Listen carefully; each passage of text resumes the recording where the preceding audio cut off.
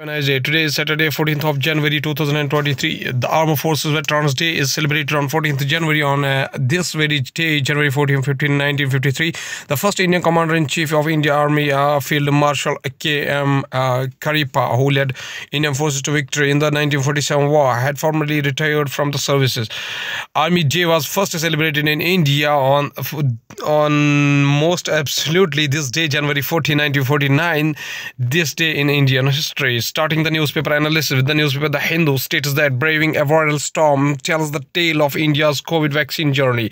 Union Minister of Health and Family Welfare Mansukh Mandavia addresses at an event to release the book Braving a Viral Storm India's COVID-19 Vaccine a Story by Ashish Chandorkar and Suraj uh, Sudhir at Constitution Club of India in uh, New Delhi on January recently.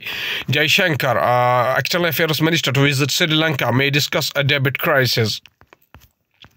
Uh, the Hindu newspaper also states that rise in government capital spending pushes investment up by 53%. Construction personnel at work on a coastal road construction site in Mumbai.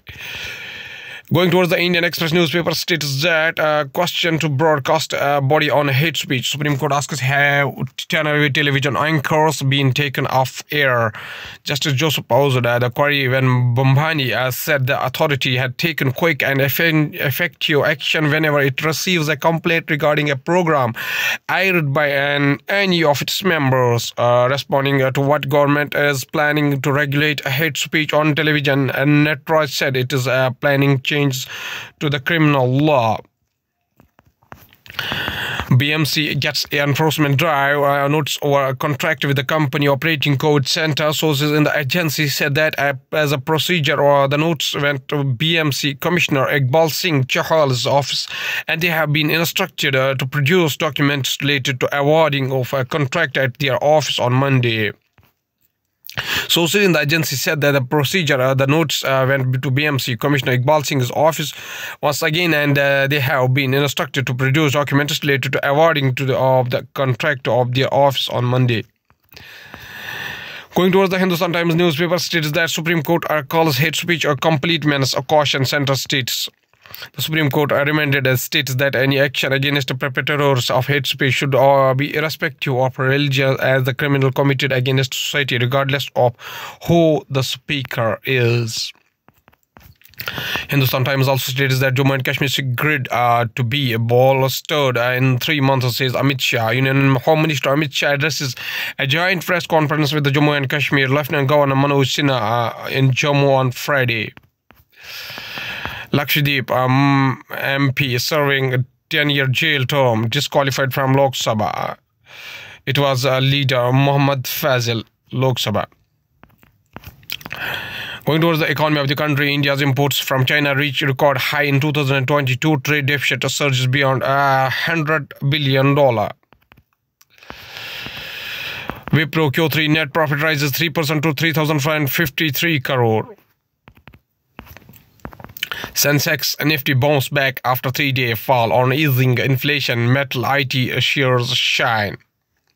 It was 13th January uh, 2023. Change was uh, 3 plus 303.15, which is uh, ultimately equal to 60,261.18 going towards the world in news battle of uh, Bakhmut, uh, Soledar, Crimea in eastern Ukraine ongoing, says Zelensky. Boeing 737 MAX uh, makes a first passenger flight in China since March 2019. Relief groups say five die as a Myanmar airstrike hit church.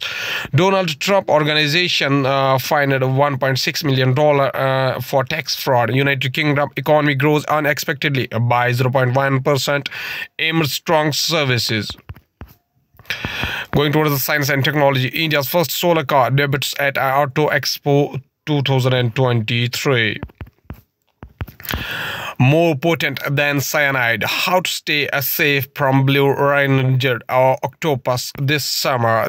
The venom of blue ringed octopus contain a tetrodotoxin, a potent neutro, neutro, neurotoxin, claimed to be a thousand times more potent to humans uh, than a cyanide. At last, there's a famous quotation by George Eliot, an English novelist whose full name is Mary Ann Evans, uh, known by her pen name George Eliot, uh, was an English novelist, poet, journalist, translator, and one of the leading writers of the Victorian era.